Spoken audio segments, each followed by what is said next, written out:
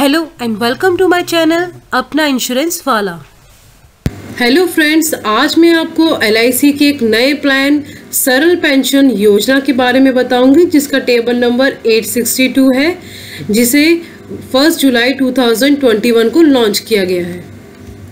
IRDA ने जनवरी में एक सर्कुलर लाया था, जिसमें सभी इंश्योरेंस कंपनी से कहा गया था कि वो एक ऐसी पेंशन योजना लाए, जिसकी टर्म और कंपनीज़ में सेम हो। और जो हर आम नागरिक को आसानी से समझ आ सके, ऐसी पेंशन योजना जिसे हर व्यक्ति खुद समझकर अपनी पेंशन का इंतज़ाम करने के लिए उसमें इन्वेस्ट कर सके। तो आईआरडीए के सर्कुलर के अनुसार एलआईसी ने 1 जुलाई 2021 से सरल पेंशन योजना टेबल नंबर 862 के नाम से नया पेंशन प्लान लॉन्च किया है। एलआईसी का ये plan non linked guaranteed immediately annuity plan है। यहाँ मैं आपको बता दूँ कि एन्यूटी का मतलब पेंशन ही होता है। इस प्लान में मिलने वाली पेंशन आप प्लान लेते वक्त फिक्स कर लेते हैं क्योंकि पेंशन मार्केट बेस्ड नहीं होती है। ना ही ये पेंशन साल के अंत में डिक्लेयर होने वाले बोनस पर डिपेंड करती है। ये इमीडिएट एन्यूटी प्लान है। एन्यूटी दो तरह की होती है, एक इमीडिएट एन्यूटी और एक deferred annuity immediate annuity annuity में पॉलिसी लेने के बाद तुरंत ही आपको पेंशन मिलने लगती है, बल्कि डिफर्ड एन्यूटी में आपको कुछ सालों के बाद पेंशन मिलती है। आप कितने साल बाद पेंशन लेना चाहते हैं, ये आप खुद डिसाइड कर सकते हैं, जैसे पाँच साल, दस साल या पंद्रह साल या बीस साल। इन दोनों तरह की पेंशन में आप एक साथ पैसा जमा करना पड़ता है, जिसमें एक फिक्स्ड ब्याज आपको लाइफ टाइम मिलता रहता है।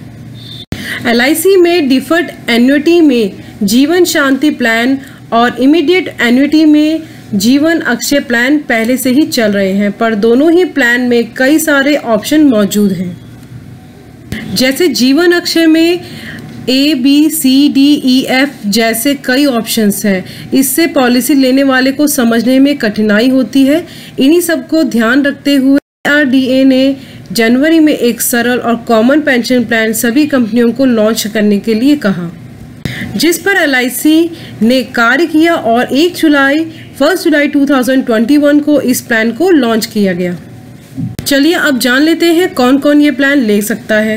कोई भी मेल फीमेल या ट्रांसजेंडर इस प्लान को ले सकते हैं। Housewife businessman working person कोई भी इस प्लान को ले सकते हैं। नौ मिनिमम एंट्री एज इस प्लान को लेने की मिनिमम एंट्री एज 40 साल है। मतलब अगर किसी को ये प्लान लेना है तो वो 40 साल की उम्र को पार कर चुका हो।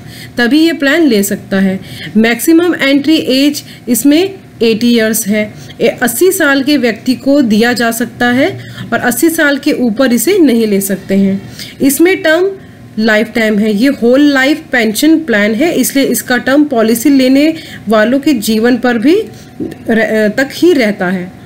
मिनिमम पेंशन इसमें फिक्स होती है। इसे आप चार ऑप्शन में ले सकते हैं। मंथली क्वार्टरली हाफ़ ईयरली और एनुअली मंथली आप मिनिमम इसमें वन थाउज़ेंड की पेंशन ले सकते हैं। मंथली मोड में पेंशन लेने के लिए मिनिमम पेंशन वन थाउज़ेंड ही चूज़ करनी पड़ती है। इससे ज़्यादा आप चूज़ कर सकते हैं, पर इससे कम आप चूज़ नहीं कर सकते। मतलब वन थाउज़ेंड का पंद्रह सौ फिफ्टीन हंड्रेड या टू थाउज़ेंड तो हो सकता है, पर वन थाउज़ेंड का एट हंड्रेड या नाइन हंड्रेड नहीं हो सकता है। आपको आपकी एज और सम श्योर्ड के अकॉर्डिंग कम से कम फिक्स अमाउंट जमा करना ही होगा, जिससे आपकी मंथली पेंशन 1000 या इससे ऊपर की बने।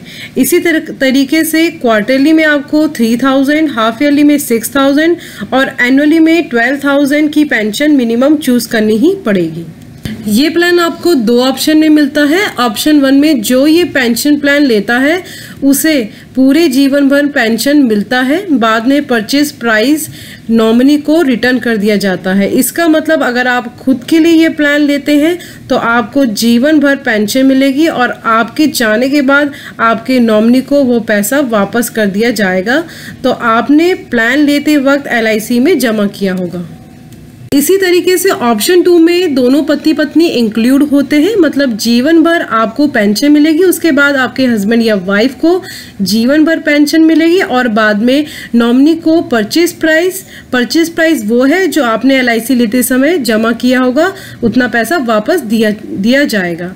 यहाँ इस बात से कोई फ़र्क नहीं पड़ता है कि किसकी डेथ पहले हुई है, अगर पति की डेथ पहले हुई है तो पत्नी को, और अगर पत्नी की डेथ पहले हुई है तो पति को ट्रांसफ़र हो जाता है। इस प्लान में जीवन अक्षय की तरह बच्चों को पेंशन नहीं मिलती है, और ना ही उन्हें कोई ज्वाइंट मेंबर बना सकते हैं। हाँ हाँ उन्हें आप नॉमिनी बना सकते हैं।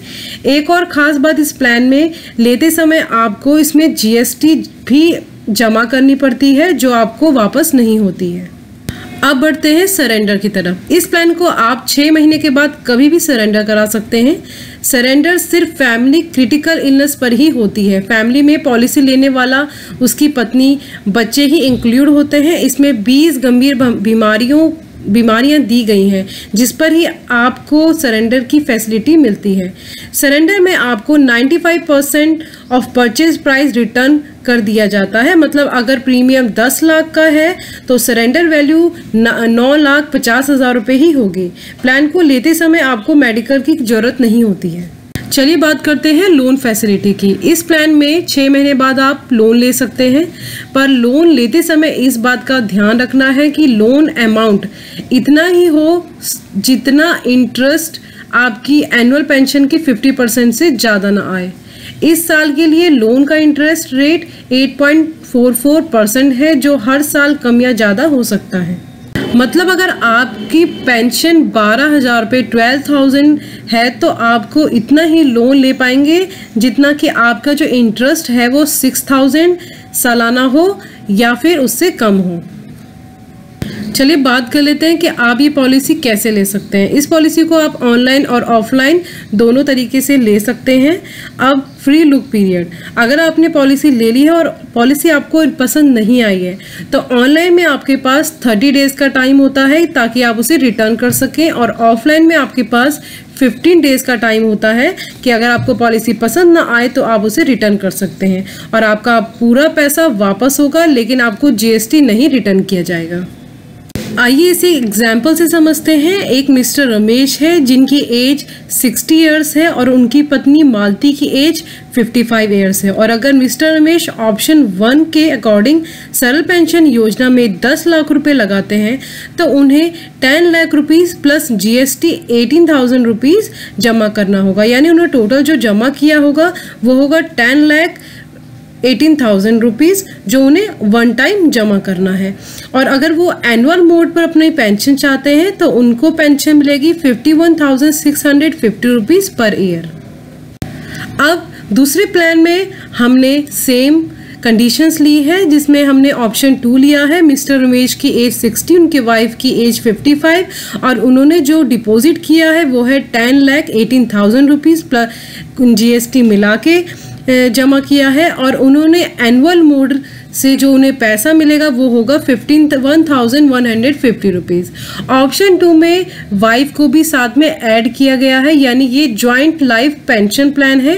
जिसमें पहले हस्बैंड को, अगर हस्बैंड ने ये पॉलिसी कराई है तो पहले हस्बैंड को पेंशन मिलेगी, उसके बाद उनकी वाइफ को वो ट्रांसफ़र हो जाएगी।